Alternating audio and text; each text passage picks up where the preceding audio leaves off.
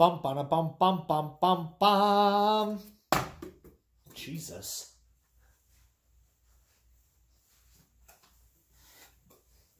Sup, and welcome back to another episode of Average Joe Reviews. Thank you for joining me today.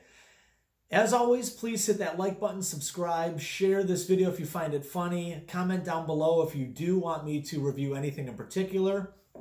If you don't like what I'm reviewing, leave a comment down below so I know what to review. Okay, I want views. I want you to be happy. So leave a comment down below if you want me to review something in particular. okay. What are we reviewing today, you ask? Well, paper towel. Okay, why is it called paper towel?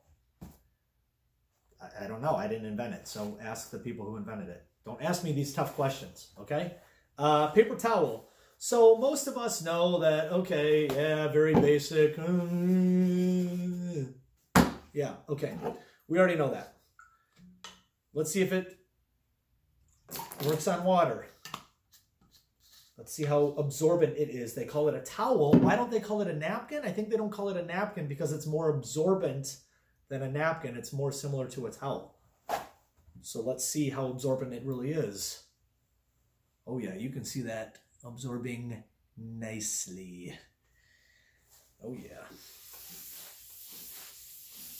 Yep, not as absorbent as a ShamWow, um, but I'm poor. I can't afford a ShamWow, so I have, you know, I have these single ply paper towels. But they do a pretty good job. Not gonna lie, they uh, they do a pretty good job. I'm I'm happy with that.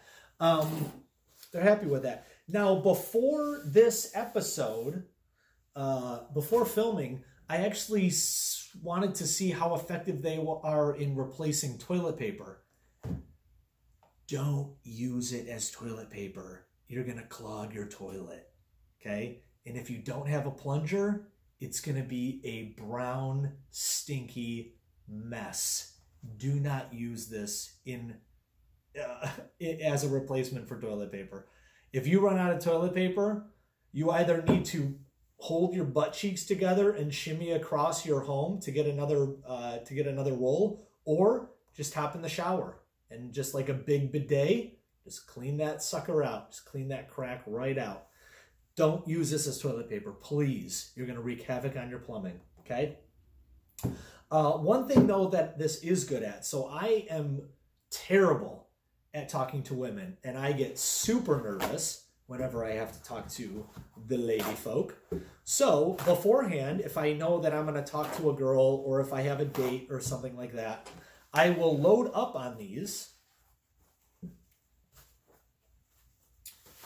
and I'll shove them up under my arms so I don't get those pit stains. Nobody wants pit stains. That's so unattractive. So I shove them up there. Oh yeah, they're already absorbing. Whew, yeah. Now, the only downside though is that I can't lift my arms up or else they'll fall. So now that I think about it, this is probably why I'm single because every time I go on a date, I'm like, hey, how are you? Nice to meet you there. Oh, you want a hug? Okay. there you go. Okay, have a good night. Bye. Um, I haven't figured out a way to keep them up there. Um, so it's I need to I need to figure that out. Um, but they uh, uh, they they do work. They definitely work. Um, so if you are nervous like me, uh, these do work. But just remember, you can't lift your arms basically above your stomach.